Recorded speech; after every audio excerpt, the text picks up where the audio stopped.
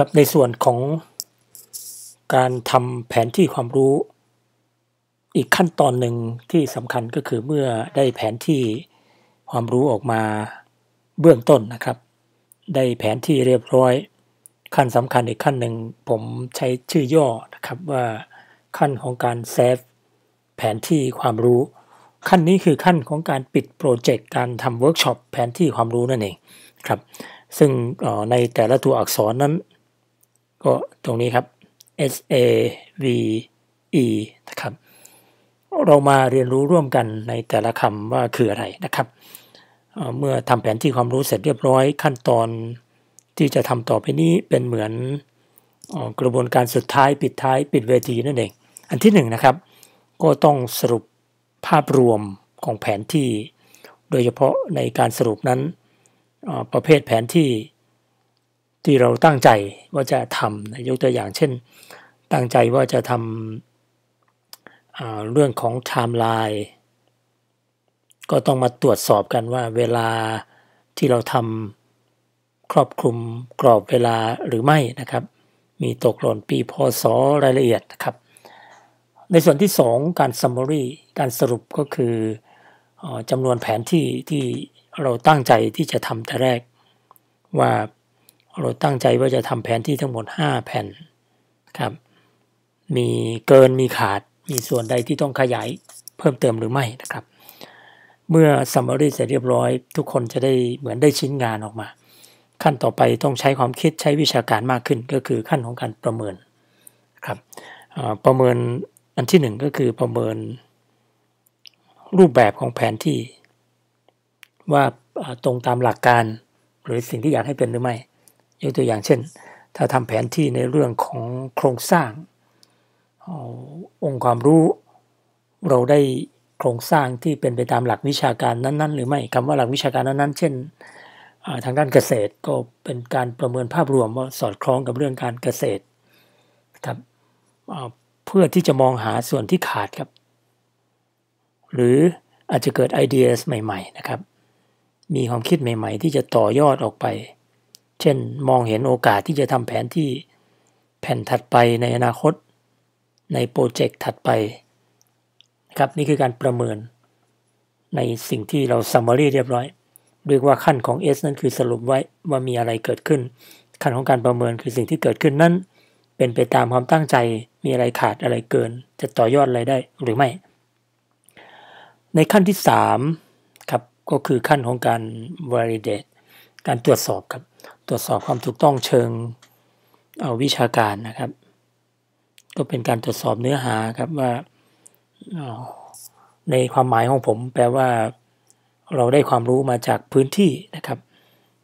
ข้อมูลนั้นถูกต้องไม่ว่าจะเป็นเรื่องของชื่อบุคคล ชื่อสถานที่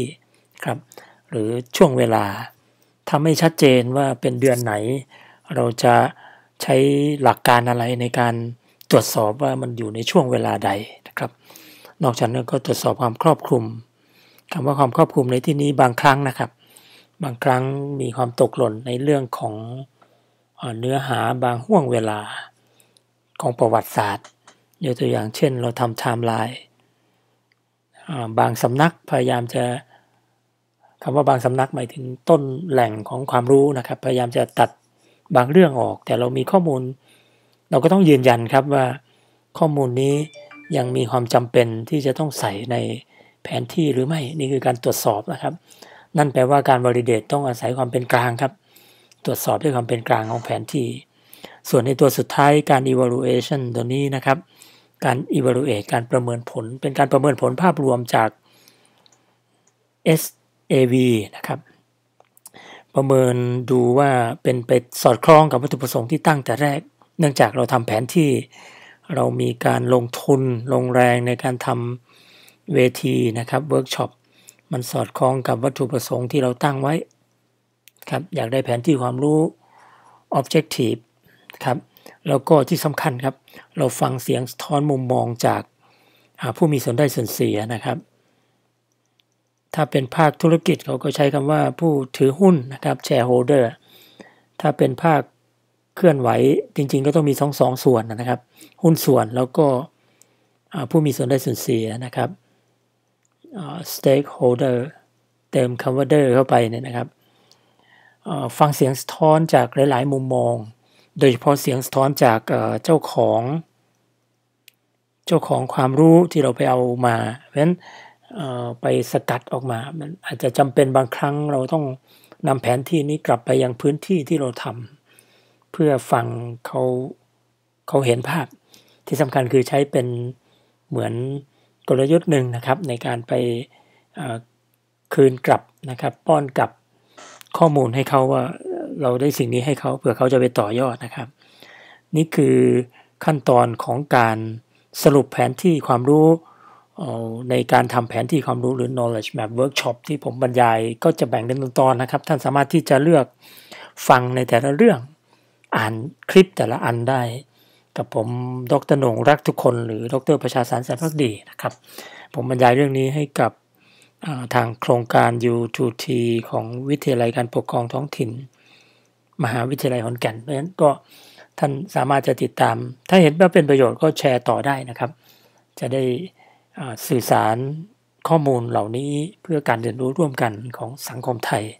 ขอบคุณทุกท่านที่ได้ติดตามคลิปนะครับ อย่าลืมกดไลค์ กดแชร์ กด subscribe กดกระดิ่งเพื่อติดตาม สวัสดีทุกท่านครับ